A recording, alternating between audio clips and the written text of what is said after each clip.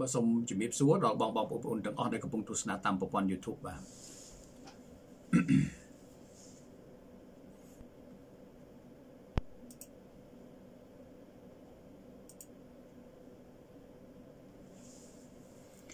បាទនៅវេលានេះខ្ញុំបាទតំណាងក្រុមហ៊ុន ABC ក៏បន្តជាមួយនឹងប្រធានបទបាទតកតងទៅនឹងថាប្រសិនបើរាងកាយ បាត់បង់កម្លាំងផ្សះហើយកុំសង្ឃឹមថាព្យាបាលជាឲ្យសោះបាទបាទប្រធានបទនេះសំខាន់ភាគច្រើនដែលមនុស្សយើងអត់បានដឹងពីរឿងកម្លាំងផ្សះរបស់រាងកាយហ្នឹងណាហើយដល់អញ្ចឹងទៅក៏អត់បានទៅយកចិត្តទុកដាក់ដែរអត់បានយកចិត្តទុកដាក់នៅក្នុងការជំរុញបង្កើនកម្លាំងផ្សះទេ ច្រើនតែអញ្ចឹងណាដែលខ្ញុំសង្កេតមកណាអឺដល់អញ្ចឹងទៅវាអត់ជាវាចេះតែ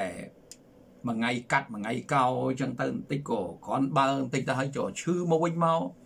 បាទនិយាយទៅគឺថាឈឺនឹងរ៉ាំរ៉ៃរាប់កាន់ខែកាន់ឆ្នាំក៏មានដែរដោយសារអីដោយសារតែវាអឺបាត់បង់កម្លាំងផ្សះហ្នឹងដល់អញ្ចឹងគាត់ជាឆ្នាំអីដាក់ទៅក៏គាត់បន្ទប់បន្ទល់ហ្នឹងហើយដល់យូរយូរទប់លេងបានណា អានេះជាបញ្ហាចោតដូច្នេះបងបងប្អូនបានយល់មកផ្នែកហើយព្រោះវាចូលដល់ភាគទី2ហើយនឹងឥឡូវនេះចូលភាគទី3ហើយណាចូលភាគទី3ហើយអញ្ចឹងអាចអញ្ជើញតាមដានឲ្យគ្រប់ភាគណាដើម្បីស្វែងយល់តកតងសុខភាពណាបាទបាទសូមស្វាគមន៍មកកាន់កម្មវិធីពន្លឺសុខភាពហើយកម្មវិធីពន្លឺសុខភាពនេះមានការឧបត្ថម្ភដោយក្រុមហ៊ុន ABC បាទក្រុមហ៊ុន DVC ជាក្រុមហ៊ុនផ្ដល់ចំណេះដឹងផ្នែកខាងសុខភាពណាគឺថាតាមរយៈប្រព័ន្ធ YouTube ហ្នឹងឲ្យបងបងប្អូនទទួលបានការចេះដឹងផ្នែកសុខភាពហ្នឹងឯងព្រោះកាលណាអត់យល់ហ្នឹងអត់មានចំណេះដឹងហ្នឹងក៏តែងតែខុសតែងតែខុយនឹងរហូតហ្នឹងឯងក្រុមហ៊ុន EBC មានបទពិសោធន៍ជាង20ឆ្នាំ ជាក្រុមហ៊ុនដែលមានចំណេះដឹងគ្រប់គ្រាន់ជាក្រុមហ៊ុនដែលមានផលិតផលគ្រប់គ្រាន់បាទ ក្រុមហ៊ុន EBC ជាជាក្រុមហ៊ុនដែលមានទីតាំងនៅផ្ទះលេខ266ផ្លូវលេខ150ក្រោយមន្ទីរពេទ្យលោកសង្ឃចម្ងាយប្រហែលជា200ម៉ែត្របងបងប្អូនអាចតាក់ទងលេខទូរស័ព្ទប្រសិនបើមានបំណងចង់ដោះស្រាយបញ្ហាសុខភាពនោះគឺ012 98 11 25 015 98 11 25 088លេខ8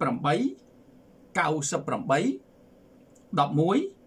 25បាទនេះជា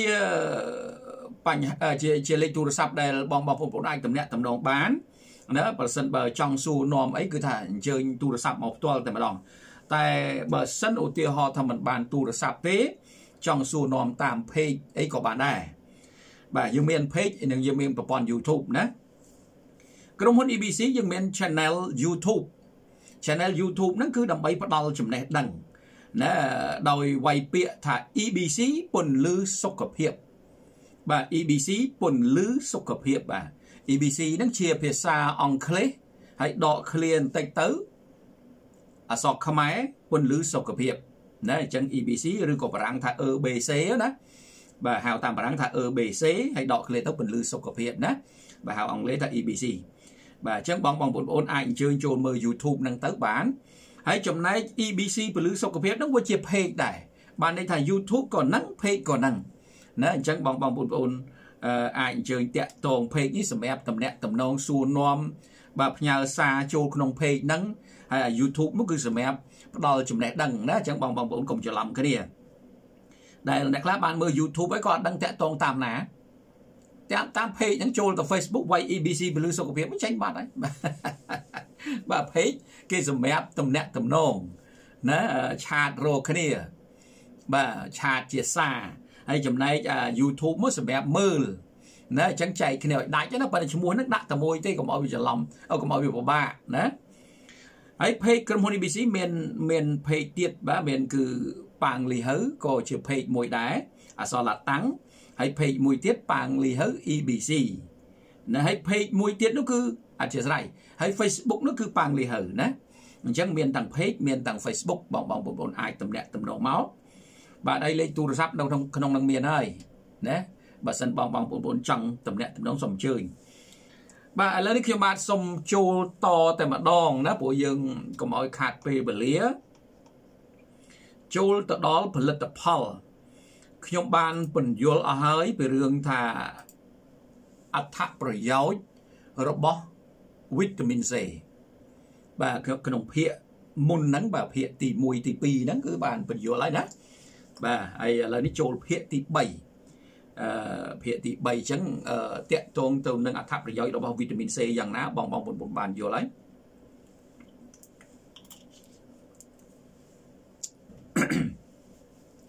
សេចក្តីត្រូវការវីតាមីន C គឺថាសំខាន់ណាស់រាងកាយមនុស្ស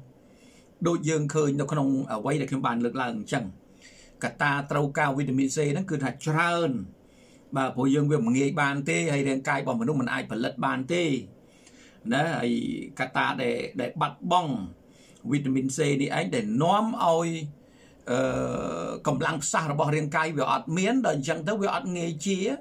របួសស្នាមក្រំក្នុងបាក់បែកជាលិកាសន្លាក់អីជាដើមអត់ងាយជាទេដោយសារខ្វះខាតវីតាមីន C ហ្នឹងអញ្ចឹងកុំភ្លេចនៅបំពេញសេចក្តីត្រូវការរបស់រាងកាយឲ្យបានគ្រប់គ្រាន់ក៏ប៉ុន្តែវានៅត្រង់ថាឈ្មោះវីតាមីន C វីតាមីន C ហ្នឹងវាច្រើនណាស់បាទច្រើនណាស់នៅក្នុងទីផ្សារបាទនៅលើពិភពលោកព្រោះវីតាមីនហ្នឹងវាទលំទលាយហើយវីតាមីនហ្នឹងវាវាចង់និយាយថា ជាវីតាមីនដែលមានសេចក្តីត្រូវការល្អហើយដូច្នេះបានវាច្រើនអញ្ចឹងខាងរោងចក្រខាងក្រុមហ៊ុនណាអ្នកវិទ្យាសាស្ត្រសិក្សាស្រាវជ្រាវឲ្យគេបង្កើតម៉ាកបង្កើត brand របស់គេរៀងរៀងខ្លួនអញ្ចឹងទៅបាទហើយក៏ទទួលបានលទ្ធផលលទ្ធផលទៅតាមអ្វីដែលគេបានធ្វើបានផលិតអញ្ចឹងទៅតែទោះបីយ៉ាងណាក៏ដោយខ្ញុំបាទដែលមានបទពិសោធន៍ជាច្រើនឆ្នាំ បាទនៅក្នុងការដោះស្រាយសុខភាពដោយប្រើប្រាស់វីតាមីន C ឬក៏វីតាមីន C នេះបាទគឺយើងបានអឺពិសោធន៍ច្រើនឆ្នាំដោយប្រើប្រាស់វីតាមីន C ហ្នឹងវាច្រើនណាស់បាទច្រើនមែនទែនប៉ុន្តែអ្វីដែលសំខាន់បំផុត គឺថាយើងជាប់នៅសល់តែមួយគត់និយាយដោយខ្លីថាប្រឡងជាប់ចឹងទៅចោះតាមរយៈខ្ញុំបាទជាជាមេប្រយោគណាបាទជាប់នៅសល់តែមួយទេ គឺ brain easter c នឹងឯងបាទ brain easter c នេះជាវីតាមីន C បើនិយាយទៅថាគ្មានគូប្រៀបដល់តាមបទពិសោធន៍មកអានេះយើងនិយាយយកបទពិសោធន៍មកនិយាយណាបាទអឺវាវាជាជាហៅវាជាម៉ាកបាទដែលត្រូវបានផលិតដោយបច្ចេកវិទ្យាដែលធ្វើឲ្យកម្លាំងស្រូបចូលវីតាមីន C ហ្នឹងគឺថាបានច្រើនណាបាទអ្វីដែលជាការអះអាងរបស់រោងចក្រហ្នឹងគឺថាពិតប្រាកដ បាទគឺពិតប្រាកដហើយយើងធ្វើការសិក្សាពិសោធន៍ហ្នឹងគឺពិតប្រាកដអញ្ចឹងហើយបានមានបងបងប្អូនប្អូនខ្លះថាហេតុអីបាទយើងមិនចែកចាយវីតាមីន C ធម្មតាលក់នៅតាម pharmacy មួយកណោហ្នឹងទៅមិនក៏មិនយកមកចែកអានឹងចែកចាយវាធូរថ្លៃផងថាវាទៅអត់រួចបាទវាទៅអត់រួចទេបានចែកចាយរួចស្រេចទៅហើយ មិនមែនមិនចែកចាយទេហើយវីតាមីន C ពីប្រទេសណាប្រទេសណាតាំងពីអឺ New Zealand តាំងពី Belgium តាំងពីឯណាឯណីអូបាទគឺថាវា claim ហ្នឹងគឺវាខ្លាំងវាបកកែអីយ៉ាងណាប៉ុន្តែដល់ពេលយើងយកមកពិសោធន៍វាអត់ទៅរួចបាទវាអត់ទៅរួចណាអានេះចង់ចង់បញ្ជាក់ជូនបងបងប្អូនបានជ្រាបអញ្ចឹងណា ហើយដូច្នេះហើយបានថាយើងជាប់ជាមួយនឹង Easter C ដោយសារប្រសិទ្ធភាពរបស់វាខ្លាំងហើយមូលហេតុដែលប្រសិទ្ធភាពវាខ្លាំងវាតកតងទៅនឹងបច្ចេកវិទ្យានៅក្នុងការផលិតដែលខ្ញុំបានសិក្សានៅមើលហើយក៏ដូចជាការអះអាងរបស់ក្រុមហ៊ុនរបស់រោងចក្រនៅខាងក្រៅប្រទេសបាទអញ្ចឹងខ្ញុំបាទនៅតែលើកទឹកចិត្តឲ្យបងបងប្អូនជ្រើសរើសយក brand Easter C នេះឯងណាឥឡូវយើងមើលទាំងអស់គ្នាថា brand នេះវាយ៉ាងម៉េចណា អញ្ចឹងអត្ថប្រយោជន៍ក៏ដូចជារឿងរ៉ាវរបស់វីតាមីន C ហ្នឹងបានបញ្យល់ហើយបានបញ្យល់ហើយឥឡូវចូលម៉ាកហ្នឹងបាទម៉ាក Easter C បាទ vitamin C ណាវីតាមីន C ហ្នឹងម៉ាក Easter C the best vitamin C of all is Easter C 500 brand បាទវីតាមីន C ល្អបំផុតក្នុងចំណោមវីតាមីន C ទាំងអស់ហ្នឹងគឺម៉ាក Easter C 500មីលីក្រាមហ្នឹងបាទ Easter C ជាទម្រង់បែបបត់នៃវីតាមីន C ជាពិសេសផលិតឡើងសម្រាប់ផ្ដល់នូវសារជាតិបំប៉នដែលពិបាកទទួលបានពីអាហារប្រចាំថ្ងៃរបស់មនុស្សយើងដឹងហើយថាការទទួលទានអាហារយើងបានវីតាមីន C ប៉ុន្តែវាមិនងាយបើវាមិនងាយវាមានលក្ខខណ្ឌច្រើនគេនេះវាត្រូវកម្ដៅវាខូចគុណភាព មុនដល់តុកដល់មាត់ហ្នឹងវាបាត់បង់គុណភាពវាត្រូវរលាយជាមួយនឹងទឹកវាប៉ះជាមួយនឹងគីមីកសិកម្មគេណាបាទវាធ្វើឲ្យប្រែប្រួលនៅគុណភាពរបស់វាដូច្នេះពិបាកនឹងទទួលបានពីអាហារប្រចាំថ្ងៃងាយទេបាទងាយទេអញ្ចឹងហើយបានវីតាមីន C នេះគឺផលិតឡើងដើម្បីបង្គ្រប់ការខ្វះខាតនោះឯងណាអានេះចង់បញ្ជាក់ជូនបងបងប្អូនបានជ្រាបអញ្ចឹងគឺ Mark Easter C នេះជា Mark ល្បីជា Mark ដែលល្អពិតប្រាកដតាមរយៈ ខ្ញុំបាទដែលមានបទពិសោធន៍យូរឆ្នាំណាសូមលើកទឹកចិត្តឲ្យបងបងប្អូនជ្រើសរើសវីតាមីន C ដែលល្អដែលមានអតិថិជនច្រើនដែលគាត់បានលើកឡើងពីរឿងហ្នឹងហើយគាត់មានបងប្អូនសាច់ញាតិអីផ្ញើពីក្រៅប្រទេសមកថានេះចេះនេះចុះវីតាមីន C ណាបាទមានអីខ្ញុំមិនថាអាក្រក់ទេអាចប្រើបានតែប៉ុន្តែបើយើងនិយាយសម្ដៅទៅលើការព្យាបាលឲ្យជាឲ្យពិតប្រាកដគឺថាมันដូច brain ecstasy ទេណា ពិបាករកបាននៅ brain ecstasy មិនដូចទេអានេះខ្ញុំបាននិយាយដោយត្រង់ណាមិនមែនថារបស់ផ្សេងផ្សេងហ្នឹងអន់អីទេវាវាត្រូវដូចគ្នាប៉ុន្តែគ្រាន់តែថាប្រសិទ្ធភាពវាមិនដូចគ្នាណាអានេះចង់បញ្ជាក់ជូនអញ្ចឹងណាបាទប្រើចុះបើមានប្រើទៅបើបើចង់បានរបស់ល្អហ្នឹងគឺថា ecstasy ហ្នឹងសូមបញ្ជាក់ជូនអញ្ចឹងហើយបងបងប្អូនខ្លះថាចុះមាន bra brand ហ្នឹងវាពីរឃើញមានរូបក្រូចមួយឃើញមានអត់មានរូបមួយ ណាប៉ុន្តែ Mark Ecstasy ដូចគ្នាសួរអាហ្នឹងយ៉ាងម៉េចបាទអាហ្នឹងគឺក្រុមហ៊ុនតែមួយ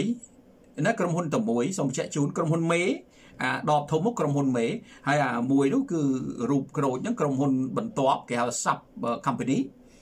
បាទដែលផលិតនៅឥណ្ឌូនេស៊ីណាសូមសូមបញ្ជាក់ជូនអញ្ចឹងណាបាទអញ្ចឹងគេសុំបតង់ផលិតរូបមន្តអីគឺដូចគ្នាហ្នឹងបាទប៉ុន្តែណែអឺក្រុមហ៊ុននៅខាងឥណ្ឌូនេស៊ីនេះគេផ្ដាច់មុខប៉ៃអាស៊ី ណាប៉ៃអាស៊ីណាអញ្ចឹងគេត្រូវដាក់ mark ecstasy ដដែលប៉ុន្តែរូបភាពវាផ្សេងគ្នាអានោះក្រុមហ៊ុនមេណាបាទនៅក្រៅប្រទេសអញ្ចឹងចង់បញ្ជាក់ជូនអញ្ចឹងវីតាមីន C mark ecstasy ណាផលិតផលមានបតង់ណាផលិតផលមានបតង់ផលិតផលមានបតង់បតង់មានន័យថាម៉េចបតង់ហ្នឹងមានន័យថាអឺជាផលិតផលដែលរូបមន្តហ្នឹងត្រូវបានគេរក្សាសិទ្ធិ រូបមន្តវានឹងត្រូវបានគេរក្សាសិទ្ធិមិនឲ្យមានអ្នកណាផលិតដូចអញ្ចឹងបានទេណាព្រោះព្រោះរូបមន្តហ្នឹងគេត្រូវសុំហើយណាសុំសុំច្បាប់ព្រោះកុំឲ្យមានព្រោះគេអ្នករកឃើញបើនិយាយចំណាកុំមិនថាយើងរករបស់អីឃើញអញ្ចឹងទៅណាដែលរបស់នោះគឺល្អពិតប្រាកដយើងប្រកាសអះអាងយើងដាក់ឯកសារទៅហើយគេសិក្សាស្រាវជ្រាវវាអញ្ចឹងមែន បាទអញ្ចឹងមែនអញ្ចឹងគឺយើងសុំសិទ្ធអត់មានឲ្យអ្នកណាមកយកប្រឡំបកៅអីយកមកផលិតអីដូចបានទេណាចង់ចង់បញ្ជាក់បញ្ជាក់អញ្ចឹងណាហ្នឹងនៅខាងក្រៅប្រទេសនោះព្រោះទម្រាំគេរកឃើញល្អមួយមួយហ្នឹងគឺថាវាអឺគេគេចំណាយពេលណាបាទគេចំណាយពេលគេចំណាយចំណេះដឹងរបស់គេណាអញ្ចឹងมันអាចអ្នកណាម្នាក់មកយករូបមន្ត លក្ខណៈបច្ចេកទេសក្នុងការផលិតនេះយកទៅធ្វើបានទេណាស្រុកគេគេរក្សាហ្នឹងខ្លាំងបាទរក្សាហ្នឹងអញ្ចឹងបានថាគេបានអឺដូចជាផលិតណារូបមន្តនឹងមួយមកគឺថាគេនិយាយងាយស្ដាប់ថាគេដេកស៊ីមួយជីវិតអីចឹងទៅណាបាទគេដេកស៊ីមួយជីវិតហ្នឹងចង់និយាយចឹងណាបាទអឺហ្នឹងតែគេជំនាញអីមួយពិតប្រកបគេដេកស៊ីមួយជីវិតចឹងបាទនឹងចង់បញ្ជាក់ជូនចឹង ផលិតផលមានបតំ Ecstasy ត្រូវបានផលិតឡើងដំបូងនៅដើមទសវត្សរ៍ឆ្នាំ1970ឃើញទេមិនទៅមកលើថ្មីថ្មីហ្នឹងទេ Ecstasy ហ្នឹងណាកុំច្រឡំណាតាំងពីឆ្នាំ1970អានឹងដំបូងបាទដោយគ្រូពេទ្យម្នាក់នៅ Arizona ដែលបានទទួលស្គាល់អំពីសារៈសំខាន់របស់វា សម្រាប់សុខភាពរបស់យើង Arizona នៅណាទៅ Arizona សហរដ្ឋនៅសហរដ្ឋអាមេរិក ណាសូមបញ្ជាក់ជូនឲ្យច្បាស់អញ្ចឹងណាអញ្ចឹងគឺគ្រូពេទ្យម្នាក់ហ្នឹងគាត់នៅ Arizona ហ្នឹងគាត់បានផលិតណាគឺ Easter C ហ្នឹងដាក់ម៉ាកហ្នឹងអីហ្នឹងរូបមន្តហ្នឹងបាទ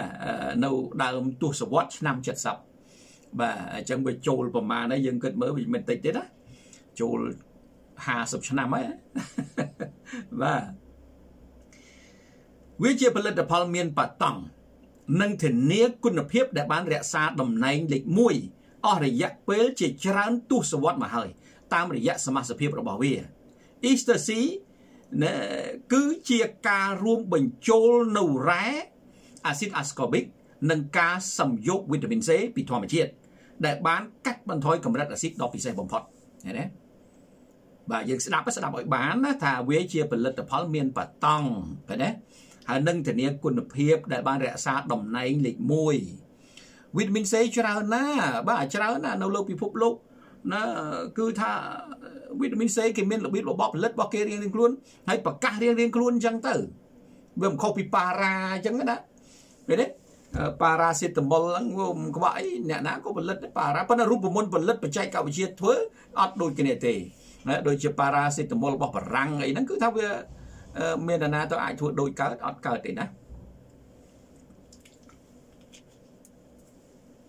ឈ្មោះហ្នឹង generic name ហ្នឹងវាដូចគ្នាប៉ុន្តែដល់ពេលរបៀបរបបផលិតហ្នឹងវាមិនដូចគ្នាទេបាទហើយគុណភាពហ្នឹងគឺមិនដូចគ្នាទេណាចង់បញ្ជាក់អញ្ចឹងវាខុសគ្នាមិនថារបស់គេផ្សេងមិនប្រើមិនបានប្រើបានប៉ុន្តែប្រសិទ្ធភាពវាស្ទើរវាទៀតចង់និយាយអញ្ចឹងណាបាទ ecstasy ហ្នឹងក៏ចឹងដែរបាទ វាជាផលិតផលមានបតង់និងធានាគុណភាពដែលបានរក្សាតំណែងលេខ1អស់រយៈជាច្រើនអស់រយៈពេលជាច្រើនទសវត្សរ៍មកហើយណាតាមរយៈសមាសភាពរបស់វា Easter C គឺជាការរួមបញ្ចូលគ្នាឃើញទេសមាសភាពវារូបមន្តវាហ្នឹងជាការរួមបញ្ចូលគ្នានៅរ៉ែរ៉ែក៏មាន ascorbic acid និងវីតាមីន C ហ្នឹងក៏មាន ការសំយោគវីតាមីន C ពីធម្មជាតិថែមទៀតក៏មានហើយគេកាត់បន្ថយអាស៊ីតរបស់វា ណាអត់ឲ្យមានប៉ះពាល់កម្រិតអាស៊ីតឡើងខ្ពស់អីទេឃើញអាហ្នឹងបច្ចេកវិទ្យារបស់គេហើយយើងសួរថាគេប្រាប់យើងគេមិនប្រាប់យើងអាហ្នឹងបើគេប្រាប់យើងមានអីប៉ុណ្ណាគេមិនប្រាប់ទេជួនកាលអ្នកខ្លះលួចផលិតរបស់គេចឹងអធិស្ឋាន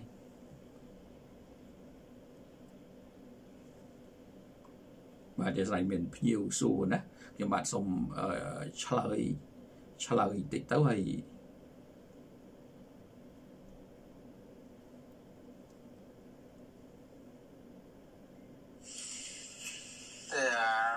លោកគ្រូអា4មុខដែ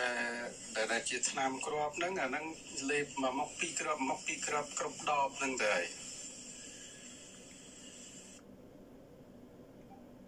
បាទបងបងឲ្យមើលអាអាណែនាំរបៀបប្រើលើហ្នឹងណាអាកាល់ស្យូមមកពីព្រឹកពីល្ងាចហើយអា IG6 ហ្នឹងពីព្រឹកពីល្ងាចដែរដល់ពេល Easter C ហ្នឹងមួយថ្ងៃមួយគ្រាប់សិនទៅ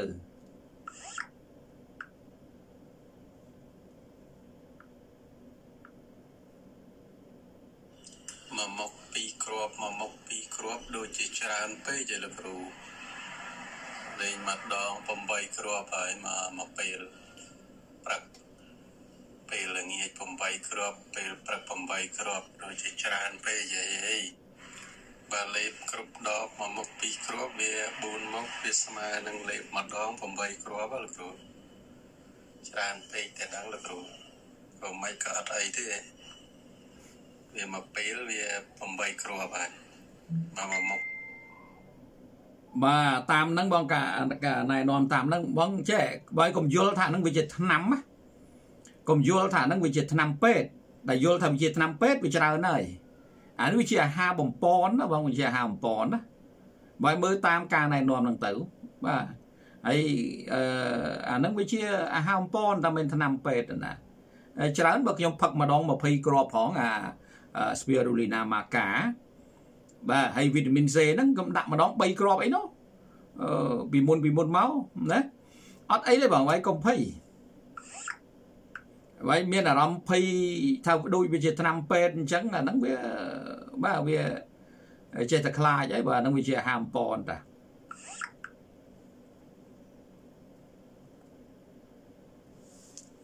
បាទជាស្រ័យបងសូមឆ្លើយទៅកុំឲ្យគាត់ភ័យវបាទ មួយមុខពីរគ្រាប់មុខពីរគ្រាប់8គ្រាប់គាត់ភ័យខ្លាចបាទ error ម្ដងម្ដងបាទណាអញ្ចឹងហើយបើថាមិនទាន់យល់ច្បាស់ណាមិនទាន់យល់ច្បាស់ដូចវីតាមីន C អីផឹកខ្ញុំបាន6គ្រាប់មួយថ្ងៃបាទអញ្ចឹងបើថារឿងមិនយល់ច្បាស់ហ្នឹងវាជាបញ្ហាចោតមួយដែរណាខ្លាចឲ្យលេចខ្លាចកើតទៅប្រហែលមានអ្នកមកថាចេះថាចោ error បដ ாய் ណាអញ្ចឹងបានថារឿងចំណេះដឹងសំខាន់ណាស់ តែខ្វះចំណេះដឹងហើយភ័យហើយមនុស្សយើងហ៎វាមិនដឹងអានឹងស្អីផងអីជួនកាលស្ដាប់ដែលតាមខ្ញុំបទពិសោធន៍មកអ្នកខ្លះបញ្យលអញ្ចឹងស្ដាប់អញ្ចឹង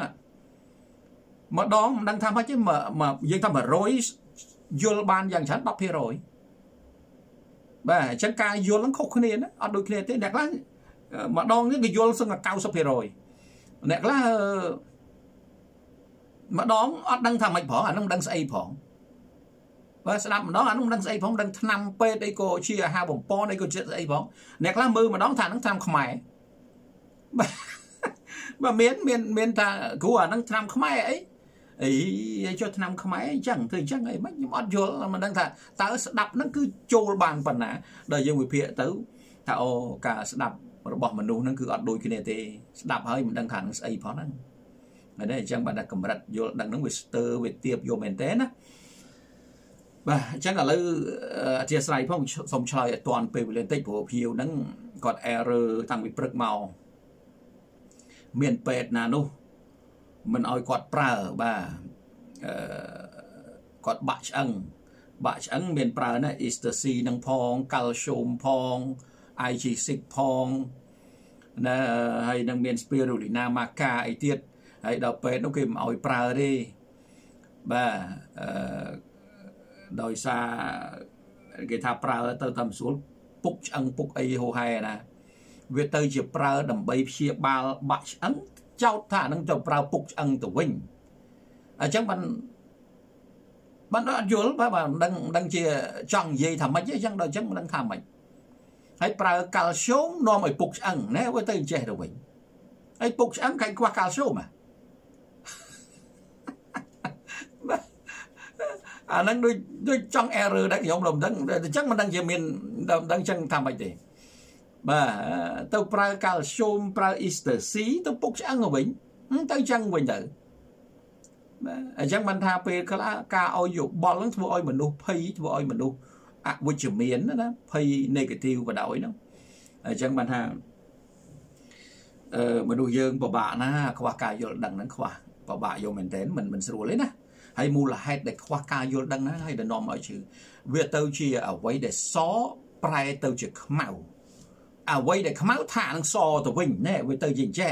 អាខ្វះការយល់ដឹងហ្នឹងណាបាទរបស់ល្អបែរទៅជាគិតថាហ្នឹងមិនល្អដែលរបស់អាក្រក់គិតថាហ្នឹងល្អវិញណែវាទៅអញ្ចឹងអញ្ចឹងហើយអារឿងការខ្វះខាតការយល់ដឹងហ្នឹងវាជារឿងមួយ មួយចោតណាបាទចោតយកមែនតើហ្មងបាទបាទអញ្ចឹងឥឡូវខ្ញុំបាទសូមបន្តណាអញ្ចឹងគឺ Easter C នេះសូមបញ្ជាក់ជូនថាវាជាផលិតផលអាហារបំពន់មិនមែនជាថ្នាំទេណាកុំច្រឡំអាហ្នឹងអ្នកខ្លះមើលឲ្យថាថ្នាំខ្មែរទៅទៀតនេះវាទៅអញ្ចឹងមិនដឹងថ្នាំខ្មែរឬឈើមិនទេដល់អត់យល់បាទ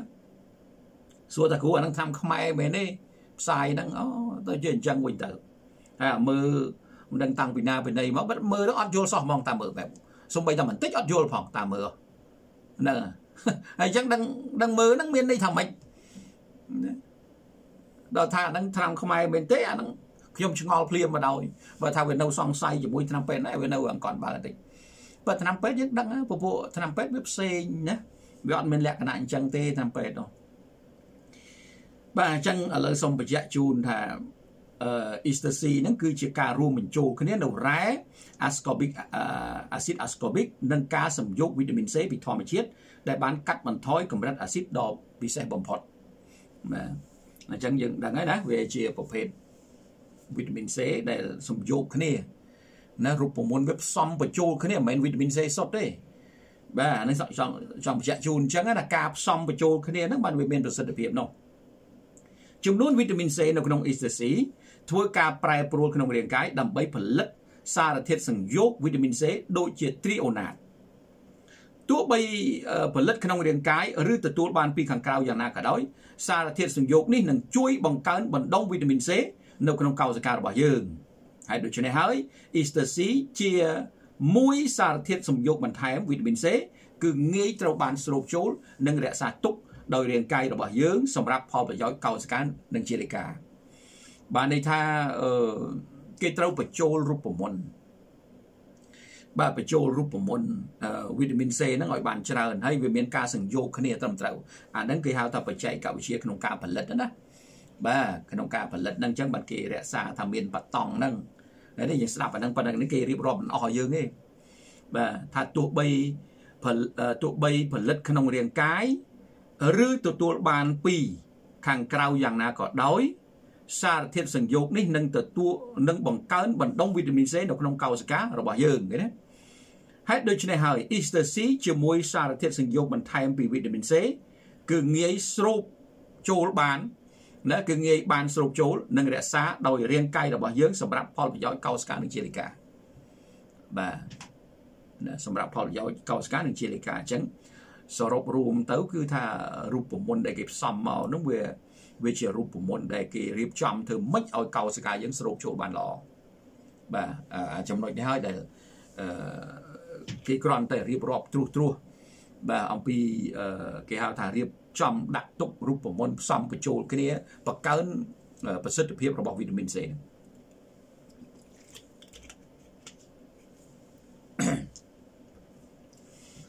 កម្លាំងរបស់ Easter C បាទកម្លាំងរបស់វា ក្រប Easter C 250 250អាតូចអឺយើងមានក្របវា250មានក្របវា500មានក្របវា1000មីលីក្រាមបាទនឹងមានច្រើនច្រើនម៉ាកប៉ុន្តែ250យើងអត់យកមកទេវាទៀបណាទៀបពេកពីព្រោះយើងត្រូវការប្រើនឹងចំនួនច្រើនដូច្នេះយើងអត់ចាំបាច់យកមកទេណាចឹងក្រប Easter C 250ស្មើនឹងវីតាមីន C វីតាមីន C ធម្មតា1000មីលីក្រាម ណាទេមានន័យថា វាមានប្រសិទ្ធភាព4ដងខ្ពស់ជាងវីតាមីន C 250ធម្មតាមានន័យថា Easter C ហ្នឹងមកក្របវាចំនួន250មីលីក្រាមកម្លាំងវាស្មើវីតាមីន C ខាងក្រៅផ្សេងផ្សេងដែលត្រូវលេខ4គ្រាប់អាហ្នឹងបើគ្រាប់ស្មើអឺគ្រាប់វា250មីលីក្រាមដូចគ្នាមែនទេមានន័យថាមួយគ្រាប់ហ្នឹងរបស់វាហ្នឹងកម្លាំងវាស្មើនឹងវីតាមីន C ដតេ4គ្រាប់ ណាអាហ្នឹងអាហ្នឹងតាមអ្វីដែលជាការសិក្សាពិសោធន៍របស់អ្នកផលិតដែលគេបានបញ្ជាក់មកអញ្ចឹងប៉ុន្តែយើងមានការពិសោធន៍មកឃើញចឹងដូចគ្នាឃើញឃើញគេហៅថាប្រសិទ្ធភាពនឹងអត់ដូចគ្នាទេរវាងវីតាមីន C ផ្សេងនិង Easter C នឹងឯងណាបាទគ្រាប់នីមួយនីមួយផ្ទុកចំនួន100មីលីក្រាមនៃជាតិ bioflavonoid ដែលមានឥទ្ធិពលការពារចំនួនវីតាមីន C ក្នុងការជំរុញបង្កើនការស្រូបចូលកាន់តែច្រើនបាទគ្រាប់នីមួយមួយផ្ទុកនេះ100មីលីក្រាមនៅសារជាតិ bioflavonoid នេះអានោះសារជាតិផ្សេងផ្សេងអឺដែលមានពណ៌ផ្សេងផ្សេងដែរនៅក្នុងហ្នឹងបាទនិយាយថារូបមន្តផ្សេងផ្សេងផ្សំបញ្ចូលអញ្ចឹងណាបាទអញ្ចឹងនឹងចង់បញ្ជាក់ជូនបងបងប្អូនដែលបានជ្រាបនៅកម្លាំងរបស់វាភាពលេចធ្លោរបស់ Easter C បាទវីតាមីន C ហ្នឹងវាលេចធ្លោ Easter C ហ្នឹងលេចធ្លោរបៀបម៉េចវាលើគេរបៀបម៉េច Easter C មានភាពលេចធ្លោជាងវីតាមីន C ផ្សេងផ្សេងទៀត Easter C មានសក្តានុពល ជាងនិងប្រសិទ្ធភាពជាង ការផ្ទុះឡើងដ៏អស្ចារ្យនៃព័ត៌មានអំពីផលប្រយោជន៍សុខភាពរបស់វីតាមីន C បានបង្ហាញថាវីតាមីន C គឺជាសារជាតិបំពន់ដែលមានតួនាទីការពារដ៏សំខាន់បំផុតដែលគេ មិនធ្លាប់បានរកឃើញកាលពីមុនបាទអញ្ចឹងពីមុនគេអត់រកឃើញទេណែអញ្ចឹងសប្តាហ៍ថ្ងៃនេះគេរកឃើញមិនសប្តាហ៍ថ្ងៃហ្នឹងយូរមកហើយណាប៉ុន្តែយើងទៅតែអានទៅតែដឹងហ្នឹងណាចង់និយាយថា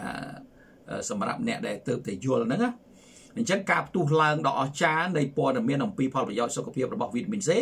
បានបង្ហាញឲ្យឃើញថាវីតាមីន C ជាសារជាតិបំពន់ដែលមានតួនាទីការពារដ៏សំខាន់បំផុត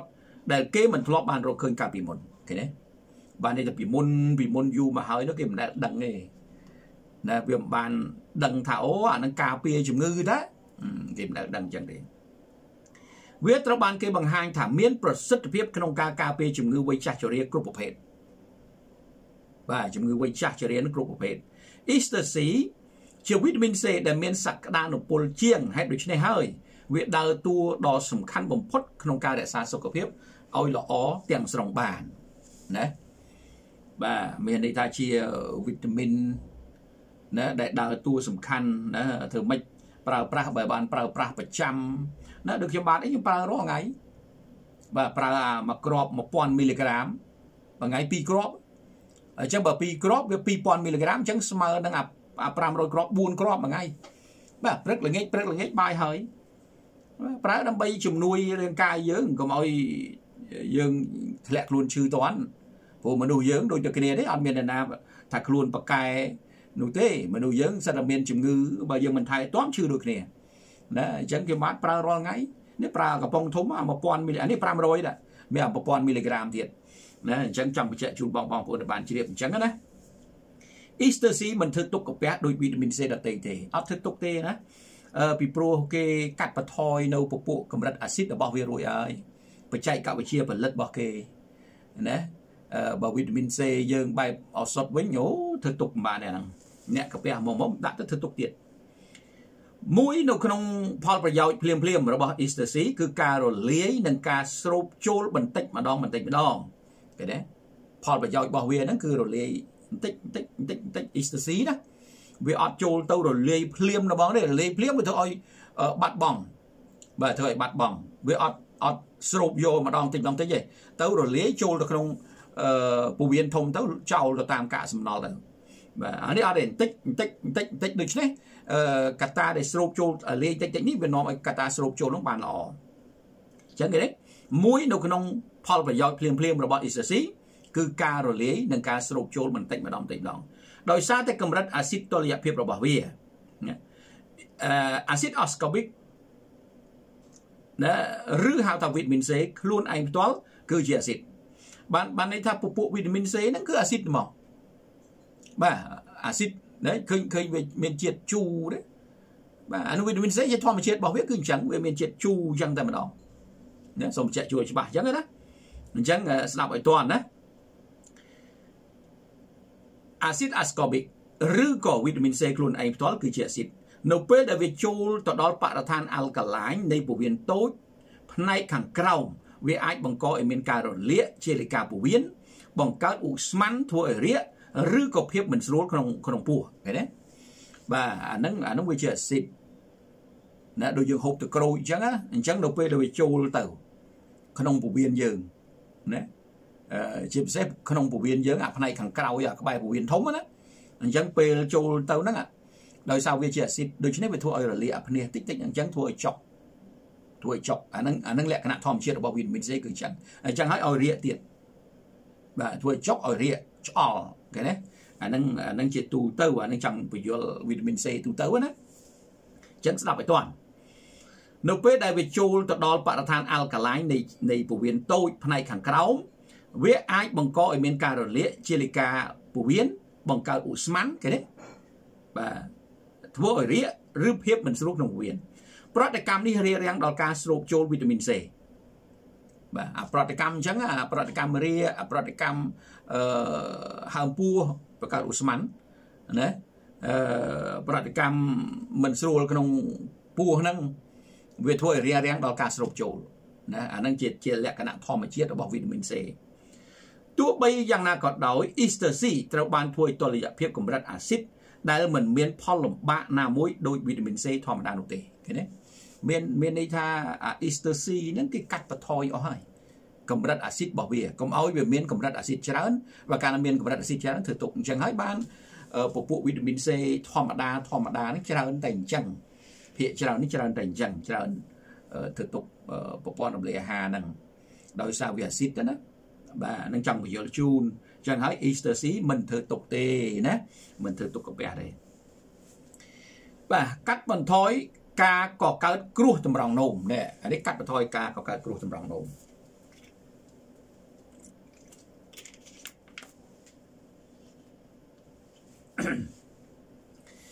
បាទកាត់បន្ថយការកកើតគ្រោះតម្រង់នោមបាទដោយសារតែវាកាត់បន្ថយនៅអត្រាកក នឹងកើតឡើងពីអាហារនិងទឹក ដែលកើតឡើងពីអាហារនិងទឹក Ecstasy មានប្រសិទ្ធភាពក្នុងការការពារនិងព្យាបាលគ្រោះតម្រង់នោមយ៉ាងមានប្រសិទ្ធភាពបាទនិយាយពីគ្រោះតម្រង់នោមនឹង Ecstasy បកកែវីតាមីន C នឹងបកកែណាអឺជាទូទៅខ្ញុំបាទមានបទពិសោធន៍ប្រើ ecstasy ជាមួយទឹក chlorophyll អានឹងខ្លាំងគ្រោះសម្រង់នោម ecstasy វាជួយផ្សឹកណាជួយផ្សឹកអាគ្រោះហ្នឹងហើយចំណែកឯ chlorophyll ក៏ចឹងវាជួយទាញមកកកកបោហើយបើសិននៅក្នុងករណីដែលមនុស្សហ្នឹងអត់ទាន់កើតគ្រោះតម្រង់នោមទេក៏ប៉ុន្តែគាត់បានប្រើគាត់បានប្រើគឺអត់ងាយទេបាទអត់ងាយកើតទេអានេះខ្ញុំបាទសុំសុំធ្វើការណែនាំតនឹងតិច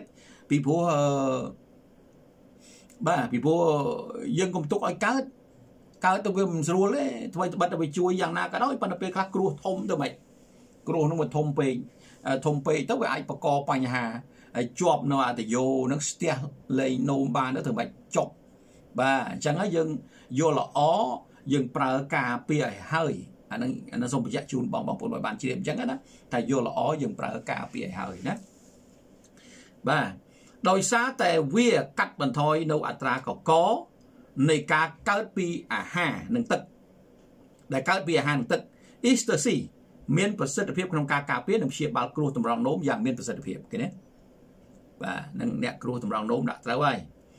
ជាងនេះទៅទៀតដោយសារតែដំណើរការផលិតផលនឹងរូបមន្តពិសេសរបស់វា ecstasy មានភាពលេចធ្លោខ្លាំងជាង បើប្រៀបធៀបជាមួយវីតាមីន C ធម្មតា ដែលតាក់ទងទៅនឹងអាយុកាល និងស្ថិរភាពរបស់វាបាទមានន័យថាអាយុកាលរបស់វានឹងវាវែងជាងណាអធិស្ឋានខ្ញុំ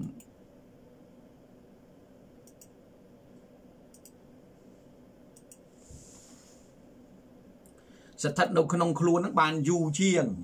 ណាដោយសារដំណើរការផលិតនឹងបាទជាងវីតាមីន C ធម្មតាណាអត់អត់ចូលទៅក្នុងខ្លួនរយៈពេលខ្លីដល់អញ្ចឹងទៅចេញមកវិញបាត់អត់ប្រយោជន៍មែនទេគឺអាយុកាលនឹងវាយូរហើយស្ថិរភាពនឹងក៏វាយូរដែរណាអញ្ចឹងហើយបានវាមានប្រយោជន៍សម្រាប់សុខភាពរបស់មនុស្សយើងនោះ ecstasy ហ្នឹងអញ្ចឹងណាអញ្ចឹងស្ដាប់ឲ្យតន់ថាជាងនេះទៅទៀតដោយសារតែដំណើរការនៃការផលិត និងរូបមន្តពិសេសរបស់វា ecstasy មានភាពលេចធ្លោខ្លាំងជាងបើប្រៀបធៀបជាមួយវីតាមីន C ធម្មតាដែលតាក់ទងទៅនឹងអាយុកាលនិងស្ថិរភាពរបស់វាណាបាទនឹងចង់បញ្ជាក់ជូនបងបងប្អូនបានជ្រាបអញ្ចឹងណាតារាងខាងក្រោមបង្ហាញអំពីភាពលេចធ្លោរបស់ ecstasy ទៅលើវីតាមីន C ធម្មតាការប្រៀបធៀបរវាង ecstasy និងវីតាមីន C ធម្មតាណាអញ្ចឹងវីតាមីន C ធម្មតាណាអឺ វីតាមីន C អឺអានេះវីតាមីន C អានេះវីតាមីន C ធម្មតាអានេះ ecstasy យើងមើលការប្រៀបធៀបគ្នាចេះ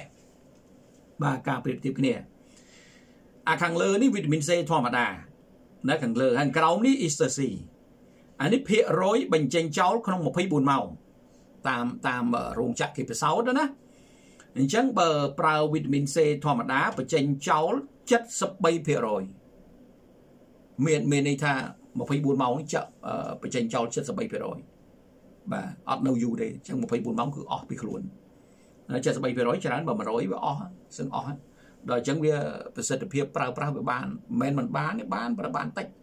ពេលនេះ73អញ្ចឹងសល់តាន់សល់27បាទសល់27%អ Easter C បញ្ចេញចោលតែ5%ឯងអញ្ចឹងដល់សល់95%ក្នុងខ្លួន24ម៉ោងណា កត្តាការពាររកស៊ីធ្មេញអា Easter C អឺទៀតហើយវីតាមីន C ធម្មតា ការពាររកស៊ីធ្មេញហ្នឹងបានតិចតួចបានតិចតួចចំណែក Easter C 4ដង ប្រសិទ្ធភាពជាងវីតាមីន C ធម្មតាបាទនេះខាងរោងចក្រអ្នកផលិតគេបានអះអាងណាយើងក៏អះអាងតាមគេចឹងទៅប៉ុន្តែបទពិសោធន៍ព្យាបាលហ្នឹងវាពិតប្រាកដមែនអាការអះអាងរបស់គេហ្នឹងមិនខុសទេបាទពីព្រោះហេតុអីបាទខ្ញុំយល់ថាមិនខុស ពីព្រោះគេសិបប្រសោតដែរបើគេហ៊ាននិយាយណាបើមិនអញ្ចឹងគេមិននិយាយកើតទេពួកអ្នកប្រាជ្ញណាកម្រិតអាស៊ីតកម្រិតអាស៊ីតគឺវីតាមីន C ធម្មតាកម្រិតអាស៊ីតរបស់វាគឺ pH 4.4ទៅ5.8អា4.4ទៅ5.8អាស៊ីតសុទ្ធហ្នឹងអាស៊ីតច្រើនណាវាអត់តលរយៈភាពណាចំណែក Easter C 7 pH វា7អញ្ចឹងបើ pH វា7នៅក្នុងកម្រិតធម្មតា ណាកម្រិតធម្មតាបាននៃតុល្យភាពរវាងអាស៊ីតណាបាទនឹងអាល់កាឡាញហ្នឹងហើយបើធ្លាក់ក្រោមហ្នឹងគឺអាស៊ីតដែរបាទធ្លាក់ក្រោម7គឺអាស៊ីតដែរឃើញទេវាអត់តុល្យភាពអញ្ចឹងគេប្រៀបធៀបជាមួយវីតាមីន C ធម្មតាហ្នឹងអឺជាទូទៅគឺគេរកឃើញថា4.4ទៅ5.8ហើយចំណែក ecstasy តា7 pH 7ឃើញទេការធ្វើទុក ការធ្វើទុកគឺវីតាមីន C ធម្មតាធ្វើទុកកាពះពោះវៀនអាហ្នឹងគឺដូចបានបញ្យល់ខាងដើមអញ្ចឹងដោយសារតែវាជាអាស៊ីតច្រើនដល់អញ្ចឹងទៅវាចូលទៅផ្នែកខាងក្រោមនៃពោះវៀនតូចវាធ្វើឲ្យលាកភ្នេះជាលិការបស់ពោះវៀនអញ្ចឹងចុកបាទចុកឃើញទេហើយធ្វើឲ្យហើមពោះធ្វើឲ្យរាកដល់អញ្ចឹងអាការនៅក្នុងខ្លួនហ្នឹងអាចបានយូរទៀតបាត់បាទអញ្ចឹងបានបញ្ចេញចោល73%ដល់ឃើញទេចំណែក Easter C តលយៈភាពណាមិនធ្វើទុកបានន័យថាគេ គេគេធ្វើឲ្យអាស៊ីតវាថយបាត់អស់ហើយហ្នឹងកម្រិតអាស៊ីតរបស់វាហ្នឹងគឺថយបាត់អស់ហើយហ្នឹងណាដល់អញ្ចឹងទៅវាអត់ធ្វើទុកទេអវីតាមីន C ធម្មតាការកកើតគ្រោះតម្រង់នោមណានិយាយពីផ្នែកគ្រោះតម្រង់នោមហ្នឹងអាវីតាមីន C ធម្មតាហ្នឹងណាអាចបង្កបង្កើតឲ្យមានគ្រោះតម្រង់នោមទៀតហេតុអីបានចឹងដោយសារកម្រិតរលាយរបស់វាវាអត់រលាយបានល្អមែនទេ អញ្ចឹងអាចបកចំណែក Easter C ជួយកាត់បន្ថយគ្រោះតម្រង់នោមទៅវិញគេណាបាទអញ្ចឹងអាហ្នឹងគឺជាតារាងបង្ហាញការប្រៀបធៀបរវាងអឺ MAC Easter C វីតាមីន C MAC Easter C និងវីតាមីន C ធម្មតា ដែលគេយកមកប្រៀបធៀបគ្នាពិសោធន៍គ្នាណាបាទអញ្ចឹងបងបងប្អូនអាចនឹងយល់ណាតាមដំណាក់កាលមួយមួយហ្នឹងជាស្រ័យនៅច្រើនទៀតទេអូចង់អស់បាទចប់បដ ாய் បាទកុំឲ្យយូរ ណាសំណួរដែលគេតែងតែសួរត្រូវទេសំណួរដែលគេតែងតែសួរអំពី Easter C ណាតើ Easter C មានការខុសគ្នាយ៉ាងណាជាមួយនឹងវីតាមីន C ធម្មតាយើងយើងដឹងហើយតាមការសិក្សាមកយើងដឹងហើយ Easter C ជាអាហារសុទ្ធនឹងស្រូបចូល4ដងខ្លាំងជាងវីតាមីន C ធម្មតាបាទជាអាហារសុទ្ធនឹងស្រូបចូល4ដងខ្លាំងជាងវីតាមីន C ធម្មតាការរលាយបន្តិចម្ដងបន្តិចម្ដងនឹងកម្រិតអាស៊ីតតុល្យភាពរបស់វា មានការសង្យោគបានល្អជាមួយនឹងរាងជាមួយនឹងរ៉ែក្នុងរាងកាយរបស់យើងជាងនេះទៅទៀតវាកាត់បន្ថយគ្រោះថ្នាក់នៃជំងឺគ្រោះតម្រង់នោមតាមរយៈការកាត់បន្ថយកកពីទឹកនិងពីអាហារបានដល់ទៅ80%បើប្រៀបធៀបនឹងវីតាមីន C ម៉ាក់ផ្សេងណាអញ្ចឹង ECC នឹងជួយកាត់បន្ថយណានៅបញ្ហាគ្រោះតម្រង់នោមអីហ្នឹងទី2ហេតុអ្វីបានជាយើងត្រូវការវីតាមីន C វីតាមីន C មិនអាចត្រូវបានផលិតឬក៏សំយោគក្នុងរាងកាយនោះទេហើយដូច្នេះហើយយើងពឹងផ្អែកវីតាមីន C ពីអាហាររបស់យើងទាំងស្រុងទោះបីយ៉ាងណាក៏ដោយអាហារប្រចាំថ្ងៃរបស់យើងមានចំនួនវីតាមីន C មិនគ្រប់គ្រាន់ទេ នៅពីព្រោះវាងាយនឹងប្រតិកម្មបាត់បង់គុណភាព ប្រសិនបើត្រូវកម្ដៅឃើញទេវាអត់ងាយបានណាវីតាមីន C វាមិនងាយណាអឺដោយសារតែវាជាសារជាតិងាយរលាយជាមួយនឹងទឹក វាក៏អាចនៅក៏មិនអាចនៅក្នុងខ្លួនបានយូរដែរដូច្នេះហើយយើងគួរតែទទួលទានវីតាមីន C ឲ្យបានគ្រប់គ្រាន់ជាប្រចាំថ្ងៃដើម្បីបំពេញសេចក្តីត្រូវការរបស់រាងកាយបាទព្រោះយើងអត់អាចផលិតបានហើយវាឆាប់បាត់បង់វាទទួលបានមិនគ្រប់ចឹងយើងត្រូវការប្រើប្រាស់វីតាមីន C នៅប្រចាំថ្ងៃតើទទួលទានវីតាមីន C ច្រើន មានផលលំបាកដែរទេផឹកច្រើនមានផលលំបាកទេអាវីតាមីន C ហ្នឹង ជាមូលដ្ឋានគ្រឹះប្រសិនបើទទួលទានវីតាមីន C ច្រើនអាចធ្វើទុកដល់កាពះពោះវៀននិងធ្វើឲ្យរាងកាយនឹងនឹងធ្វើឲ្យរាកដោយសារតែវាជាអាស៊ីតប៉ុន្តែការទទួលទានអ៊ីស្តាស៊ីចំនួនច្រើនយ៉ាងណាក៏មិនធ្វើទុកដែរពីព្រោះអ៊ីស្តាស៊ីត្រូវបានធ្វើតុល្យភាពកម្រិតអាស៊ីតរួចហើយបាទវីតាមីន C ធម្មតាយើងផឹកច្រើនធ្វើទុកណាចំណែកអ៊ីស្តាស៊ីអត់ទេណាដូចខ្ញុំ6គ្រាប់អីនោះ បាទរាល់ថ្ងៃផឹកធម្មតាអឺមួយថ្ងៃ2គ្រាប់អា1000មីលីក្រាមបាទរាល់ថ្ងៃនេះតិចទៀតចេញពីដឹងផឹកទៀតបាទបាយហើយហ្នឹងផឹកទៀតតើនរណាគួរទទួលទានវីតាមីន C ជាទូទៅមនុស្សគ្រប់គ្នាត្រូវការវីតាមីន C ប៉ុន្តែ វាមានសារៈសំខាន់ចាំបាច់សម្រាប់មនុស្សចាស់អ្នកទឹកនោមផ្អែមអ្នកជក់បារីអ្នកផឹកស្រាច្រើនពីព្រោះវាជួយជួសជុលប្រព័ន្ធសំយោគដែលកំពុងតែធ្លាក់ចុះ ឃើញទេមនុស្សទាំងអស់ត្រូវការវីតាមីន C ប៉ុន្តែអ្នកឈឺហ្នឹងត្រូវការខ្លាំងអ្នកឈឺអ្នកទឹកនោមផ្អែមមនុស្សវ័យចាស់អ្នកជក់បារីផឹកស្រាណាត្រូវការចាំបាច់ប្រើវីតាមីន C បានច្រើនណាបាទអញ្ចឹងអស់ហើយបាទអស់ហើយរូតរះបញ្ចប់ព្រោះវាចូលភាក3ហើយណាអញ្ចឹងបងបងប្អូនបងទាំងអស់ណាអាចធ្វើការស្វែងយល់អឺម្ដងហើយម្ដងទៀត បាទស្ដាប់ហើយស្ដាប់ទៀតដើម្បីឲ្យយល់ឲ្យច្បាស់ណាកុំឲ្យអ្នកខ្លះដូចខ្ញុំនិយាយអញ្ចឹងមានភ្ញៀវអតិថិជនយើងនិយាយត្រង់គាត់ទេមកគាត់ដឹងថានឹងស្អីផងបាទអត់ដឹងគាត់ថាអានឹងឆ្នាំខ្មែរអានឹងស្អីស្អីណានោះអញ្ចឹងហើយបានថាការស្ដាប់ម្ដងទទួលបានផលប្រយោជន៍ខុសៗគ្នាប៉ុន្តែយើងព្យាយាមស្ដាប់រាល់ថ្ងៃទៅណាកុំកុំម្ដងចោលស្ដាប់ហើយស្ដាប់ទៀតស្ដាប់ហើយស្ដាប់ទៀត ដើម្បីជាប្រយោជន៍ណាពីព្រោះ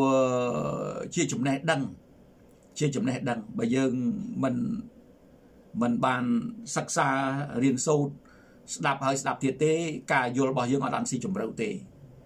ណាឃើញអតិថិជនយើងគឺភ័យទៀតផឹកតែ2គ្រាប់ហ្នឹងភ័យណែណែកាល់ស្យូម2គ្រាប់អឺណែ IG6 2គ្រាប់ព្រឹក2គ្រាប់ល្ងាចហ្នឹង គាត់ថា8គ្រាប់ចំនួនច្រើនអាឆ្នាំវាច្រើនហើយឆ្នាំពេទ្យនោះអានេះមិនមានឆ្នាំពេទ្យទេណាអត់ទេណាអញ្ចឹងមិនដឹងថានឹងវាជាស្អីស្មានថាវាជាឆ្នាំពេទ្យដែរមិនមែនទេវាជាអាហារបំពន់ណាបាទអញ្ចឹងឲ្យយល់ណាឲ្យយល់ប៉ុន្តែយ៉ាងណាក៏ដោយវាចង់សួរនាំអីតាក់ទងសួរមកជំរឿនវីតាមីន C ល្អបំផុតគឺ Easter C កម្លាំងស្រូបចូលខ្លាំងជាង4ដងវីតាមីន C ធម្មតាធានាជូននូវគុណភាពលើសគេណាម៉ា Easter C ហ្នឹង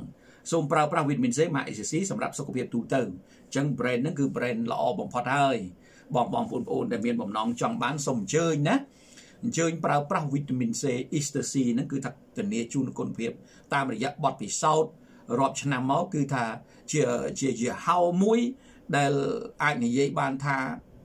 គ្មានគូប្រៀបបាទអានេះខ្ញុំអាចនិយាយបានថាអញ្ចឹងណាគ្មានគូប្រៀបអញ្ចឹងសូមអញ្ជើញតំណាក់តំណង បាទហើយបានទស្សនាសូមជួយចែករំលែកតតគ្នាផងបាទពីព្រោះដើម្បីឲ្យបងបងប្អូនបងដទៃហ្នឹងគាត់មានចំណេះដឹងផងបាទអញ្ចឹងសូមអរគុណសូមជម្រាបលាជួបគ្នានៅប្រធានបទផ្សេងផ្សេងជាច្រើនទៀតដែលខ្ញុំបាទនឹងលើកនៅក្នុង page នេះឯងនៅក្នុង YouTube នឹងឯងបាទសូមអរគុណសូមជម្រាបលាបាទ